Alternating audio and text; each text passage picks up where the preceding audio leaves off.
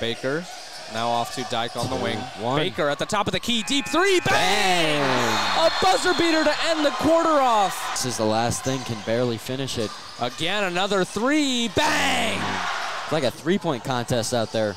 Bartlett driving, pass off to the corner, Reyes, bang! Bartlett at the top, dribble moves, driving, left hand lay, and it's good. there. Just like the story of this game, could not finish.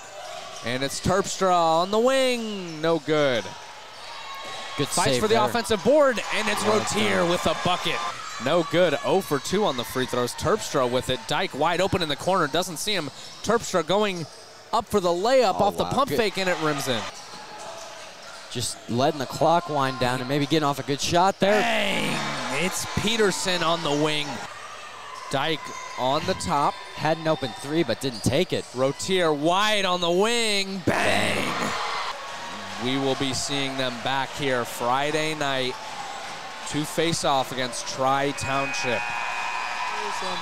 And their, their coach always always prepares well. So we'll hit some film and uh, be back on Friday, hopefully with a good game plan to get us in on Saturday.